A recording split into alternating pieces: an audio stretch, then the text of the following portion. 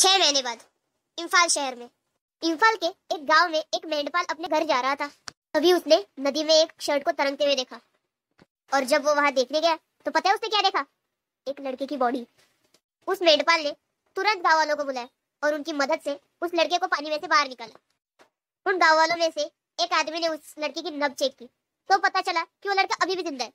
विचार विमर्श करके उन गाँव वालों ने उस लड़के को नजदीकी अस्पताल ले जाने का फैसला किया और वो लोग जल्दी उस लड़के को अपने नजदीकी अस्पताल में ले गए। वहाँ के डॉक्टर ने तुरंत ही पुलिस को इस चीज़ की खबर दे दी और जल्दी जल्द उस लड़के को आईसीयू में एडमिट किया। डॉक्टर की रिपोर्ट आने पर पता चला कि उस लड़के की हालत बहुत नाजुक है।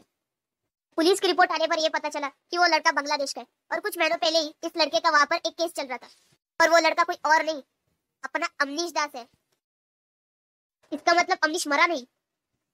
या ये लड़का कोई अमनीश का भी है? एक कहानी ही कुछ और है।